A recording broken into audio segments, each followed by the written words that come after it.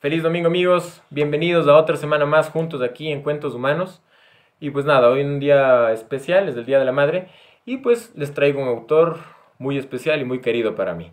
Hoy vamos a leer Eduardo Galeano, eh, dos relatos muy interesantes. Eh, el primero de ellos pues se llama El Esperado. Es un relato que lo encontramos aquí en el libro Vagamundo y otros relatos del editorial Siglo XXI. Y pues nada, yo creo que Eduardo Galeano es de esos grandes autores latinoamericanos que han marcado la historia y, creo que también eh, mucho del pensamiento latinoamericano actual tiene una influencia de este autor uruguayo. Pues sin más, el primer relato de esta tarde es el esperado. Yo nací en el día de la invención de la Santa Cruz y por eso me pusieron el nombre de María, María de la Cruz. Fue a los 12 años justos, el día de mi cumpleaños, cuando la mata creció y le brotaron los frutos amarillos, y me halló. Y ya la noche de ese día soñé el sueño hermoso, y al día siguiente me trajeron para la ciudad. Fue en el año 68 que me trajeron para cuidar a los niños. En aquella casa de la, casa de la calle Obispo, estuve 30 años mirando pasar a los hombres y a los caballos desde atrás de las rejas de las ventanas. Eran los tiempos de España, y por pobre que fuera un blanco, Ningún negro ni negra podía mirarlo. Yo nunca supe si a mí me vendieron o me regalaron, porque a muchos negritos los regalaban. Los entregaban en una bandeja. Era una fiesta de casamiento. Sonaba un golpe de aldaba en la puerta y ahí entregaban al negrito desnudo, con unos listones de colores que colgaban, largos en una bandeja de plata. Pero yo ya estaba crecida cuando me trajeron para aquí, y ya la mata me había hablado, y había tenido el sueño. Los amos me arrancaron un collar que yo había traído de la plantación, un collar grandísimo de semillas de peronías. Las peronías tienen dos caras, una cara roja grande y otra cara negra. Las peronías, como la máscara de legua, tenían una vida, tienen la vida y tienen la muerte. El collar pertenecía a Santa Bárbara, era tan lindo.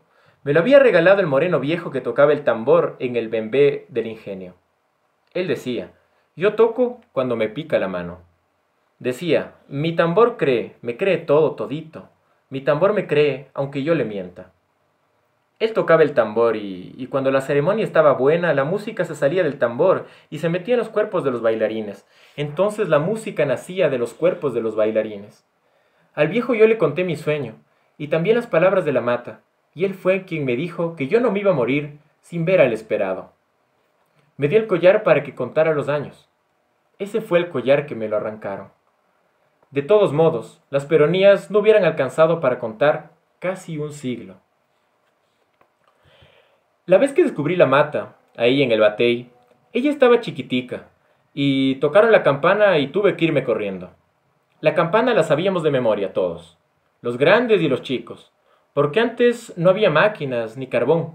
Los negros chiquitos con canastas grandes y los negros grandes con canastas grandísimas Hacíamos todos unas montañas de bagazo y nos pasábamos el día regando el bagazo para que se secara y ardiera bien. Las carretas se llevaban el bagazo y lo echaban en la hornalla para que, para que tuviera candela y moliera la caña. Los machos trabajaban más que nosotras las hembras. Desde niños, los machos ya servían para guiar a los bueyes de las carretas. Había una romana muy grande, grande como esta casa, y ahí estaban y pesaban las arrobas de la caña. Cuando sonaba la campana, había que estar. Si no, eran 25 azotes en la espalda con látigo de cuero crudo. Para castigar a las embarazadas abrían un hoyo y las acostaban con el vientre dentro del hoyo.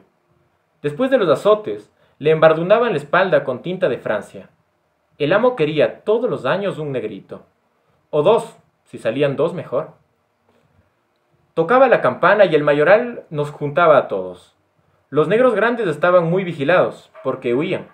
El mayoral traía los perros y los largaba a las cuevas de los indios, donde los negritos se escondían. Después les pegaba con cuero crudo o les cortaba una oreja. La matica estaba en medio del claro y para verla había que atravesar un matorral. Yo volví. Me moría del miedo, pero al día siguiente volví, sola. Me senté en un pedrusco y la contemplé. El aire estaba clarísimo. Cuando salía el sol, ya nos encontraba trabajando. De un día para el otro, la mata había crecido. Tenía todas las ramas llenas de botones, con punticos amarillos, hinchadas como si fueran a reventar.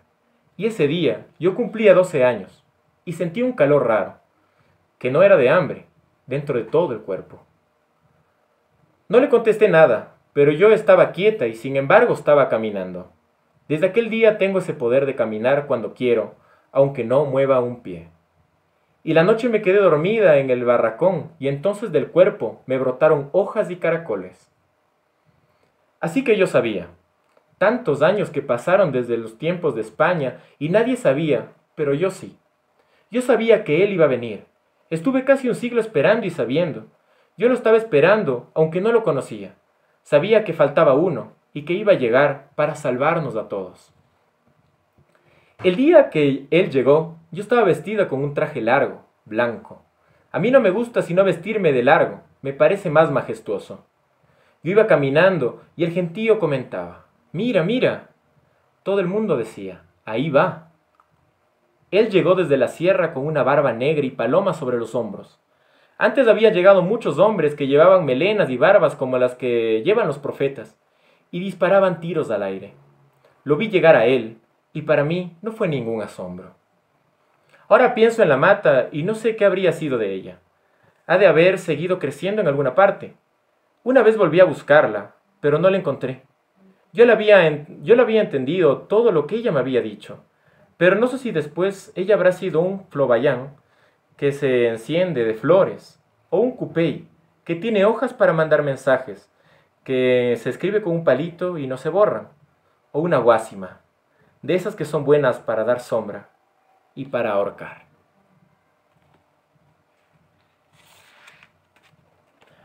Pues bueno, ese ha sido el primer relato de hoy. Y por sugerencia de una amiga, pues del libro de Los Abrazos, igual de Eduardo Galeano, hay un relato muy bonito que se llama El Mundo. Entonces, bueno, para cerrar esta tarde, pues vamos con, con este, con El Mundo de Eduardo Galeano. Un hombre del pueblo de Nehuá, en la costa de Colombia, pudo subir al alto cielo. A la vuelta contó, dijo que había contemplado desde arriba la vida humana, y dijo que somos un mar de fueguitos. El mundo es eso, reveló, un montón de gente, un mar de fueguitos. Cada persona brilla con luz propia entre todas las demás. No hay dos fuegos iguales.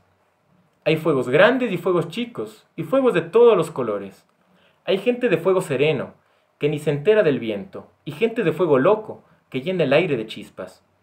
Algunos fuegos, fuegos bobos, no alumbran ni queman, pero otros arden la vida con tanta pasión que no se puede mirarlos sin parpadear, y quien se acerca se enciende. Pues bueno, muchas gracias por acompañarme un domingo más. Espero les haya gustado estos dos relatos de Eduardo Galeano. Recordar a un autor tan querido y tan importante de nuestra América Latina, pues siempre es agradable. Así que pues bueno, muchas gracias y nos vemos la siguiente semana. Un abrazo.